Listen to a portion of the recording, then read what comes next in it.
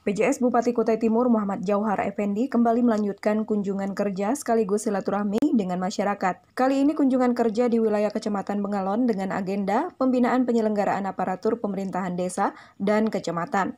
Kegiatan ini berlangsung di RM Kampung Kita, Bengalon, Senin 26 Oktober 2020 pagi.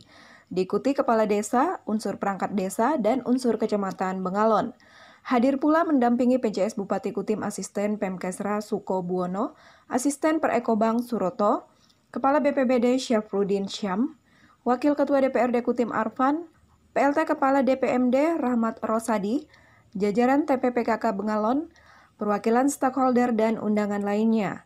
Dalam sambutannya, PJS Bupati Kutim Muhammad Jauhar Effendi menyampaikan bahwa Undang-Undang Nomor 6 Tahun 2014 tentang Desa menegaskan bahwa sumber pendapatan desa itu banyak di antaranya pendapatan asli desa, dana desa dari APBN, alokasi dana desa dari APBD, bantuan pihak ketiga yang sah dan tidak mengikat.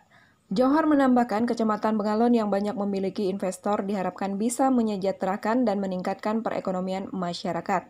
Ya, ini merupakan uh, jadwal yang kedua kami menyelenggarakan uh, pembinaan penyelenggaraan pemerintahan desa. Kemarin sudah dilakukan di Kecamatan Waho dengan melibatkan Kecamatan Kongbeng dan Kecamatan Telen. Sekarang di lingkungan Kecamatan Bengalon.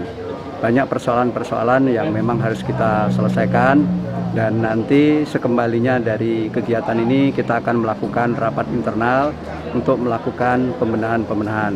Banyak masukan-masukan yang konstruktif dan saya juga berharap kepada kepala desa, apa pun kita kondisinya, kita harus bekerja dengan sungguh-sungguh, syukuri yang ada, dan tetap semangat untuk melaksanakan tugas-tugas yang semakin hari semakin berat. Terima kasih.